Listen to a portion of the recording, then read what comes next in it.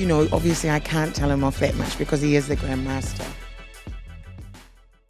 Rachel, it's so wonderful to, wonderful to see you again in a Taika Waititi movie. We loved you in Hunt for the Wilderpeople. Thank you. Does he give you a little bit less of a villainous role? Or are you a similar? No, I'm totally villainous. You're totally the same. Yeah, I'm terrible. In the footage, it seemed like you and Valkyrie, Topaz and Valkyrie, have a bit of a rivalry. Yes, Can you do. break that down for us? Well, look, I, I sort of see it like this. I, I feel like she is this young, fantastic warrior woman, and, and I think that, that, that unsettles Topaz because once upon a time she would have been a young warrior woman too, and um, and then of course the Grandmaster.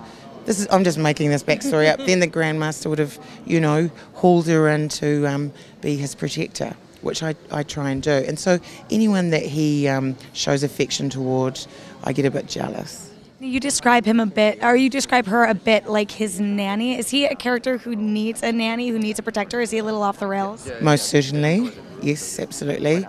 I, I mean, I you know, obviously I can't tell him off that much because he is the Grandmaster, and he does have that really fantastic weapon that he just has to do that, and you're you're gone. So I, I mean, I wouldn't go, I wouldn't be too tally-offy, but I am a bit, you know, he he did, he annoys me at times, and I need to just tell him off a little bit. Now, we know the bulk of the movie takes place, or at least a big chunk of the movie takes place at the Coliseum. Oh, Do yeah. you follow the action with the rest of the characters after they leave, so the the Grandmaster's purview?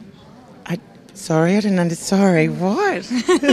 Do we get to see you uh, in the movie after they leave the Coliseum area? oh, I don't know that I can tell you that. You got Marvel snipers everywhere. What I are you most excited about with Thor Ragnarok? Oh, I just, I mean, I, I can't wait um, for people, you know, to celebrate uh, Taika's tone. I mean, he's he's got a wonderful tone, incredible talent, and um, he's put his stamp all over this version. So it's exciting. We can't wait to see what you two pull together Yeah. this time. Well, thank you so much. It's so nice you. chatting with you. Thank you, darling.